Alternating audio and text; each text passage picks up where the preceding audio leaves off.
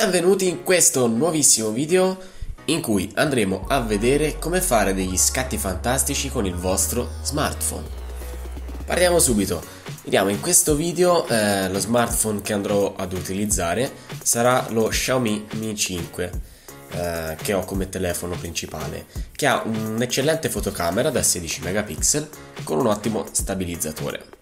Comunque gli argomenti che tratterò si applicano a qualsiasi smartphone, infatti diciamo che eh, sono le basi della fotografia.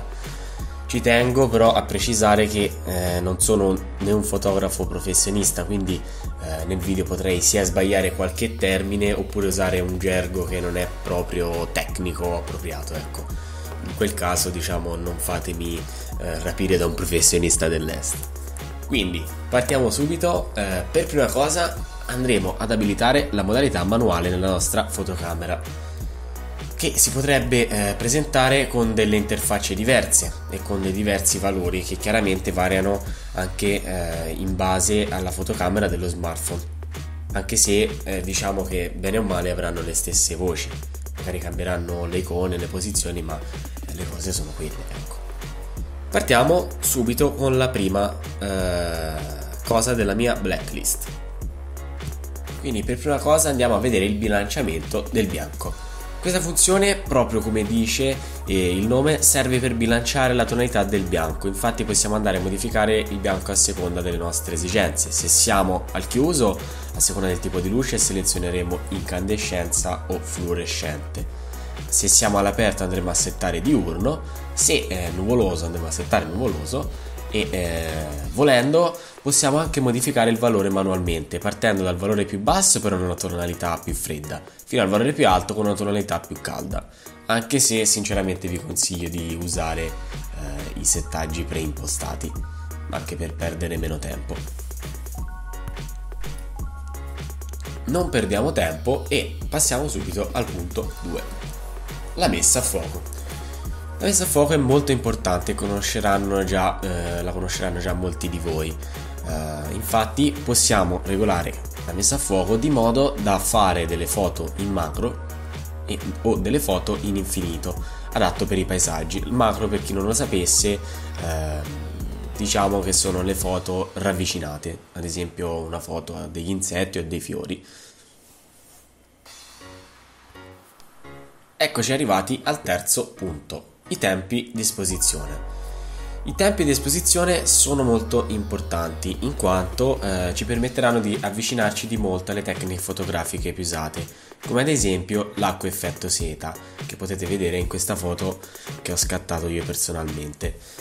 Uh, inoltre, diciamo che uh, questa funzione ci permetterà di fare scatti mille volte migliori di notte, riducendo il classico rumore che si avrebbe usando la modalità automatica e eh, se andremo a regolare un valore più basso infatti avremo uno scatto molto più veloce ma con un conseguente meno luce che entra nell'obiettivo.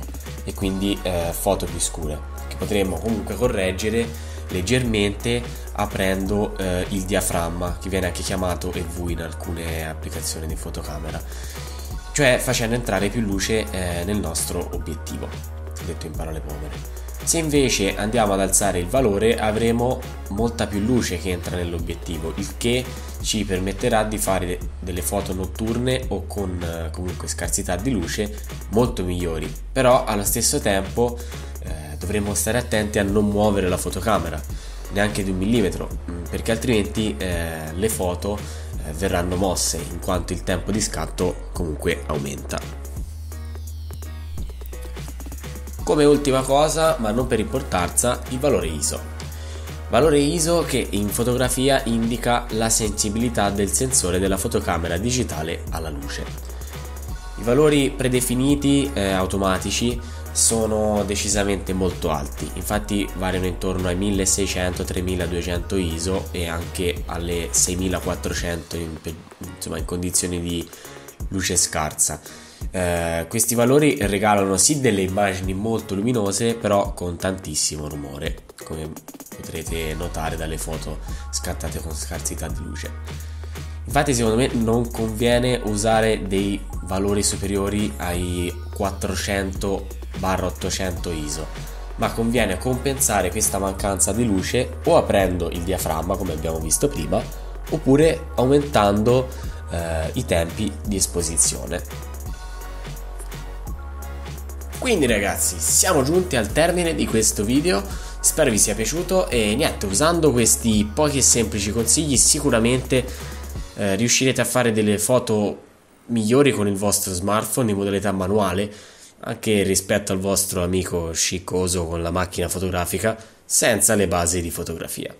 E con questo è tutto. Ciao ciao dai Telepax.